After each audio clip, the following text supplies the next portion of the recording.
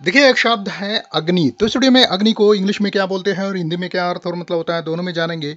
Example से sentences में use करके अच्छी तरह से समझेंगे। तो चलिए वीडियो को स्टार्ट करते हैं और समझते हैं। देखिए, अग्नि को हिंदी में हम बोलते हैं आग, दहन या दाह, ज्वलन, जलन, सुलगाव, प्रकाश, रोशनी, ज्वाला, अनल, जोश, उत्साह, धनंजय, आँच, आतिश मतलब अग्नि।